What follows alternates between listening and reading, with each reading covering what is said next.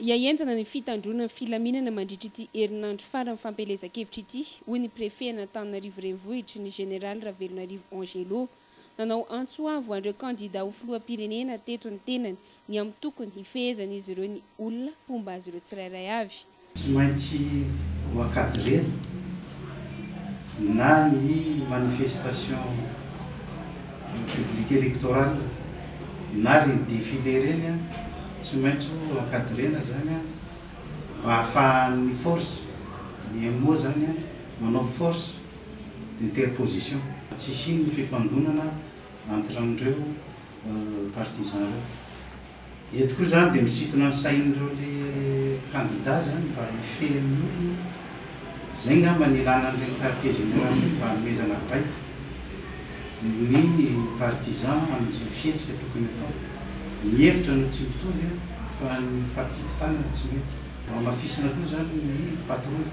Patrouille izany an, indrindra indrindra amin'ireo izay toerana ipetrahan'ireo candidats ireo.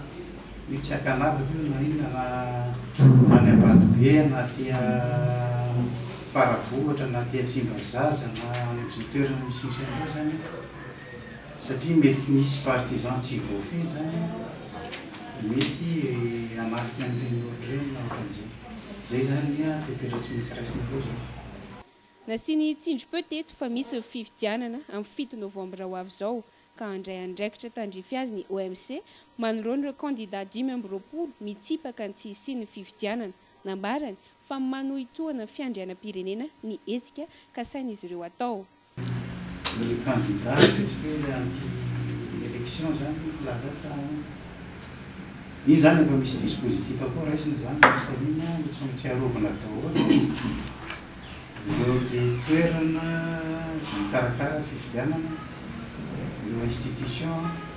Ireo zone sensible rehetra araka ny fanao dia tsy maintsy mipetraka aloha izany ilay dispositif anti pillage sao dia misy alaim-panahy izany hanafotana ny mpomban'ireo vingt cinq candidats ireo.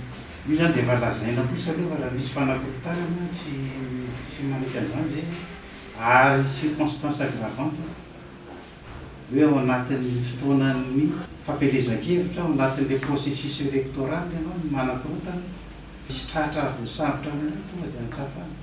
Manentana ny olom-pirenena rehetra mba ho tony ary samy hitandrina mandritra izao herinandro faran'ny fampielezan-kevitra izao ny Prefet an'Antananarivo Renivohitra.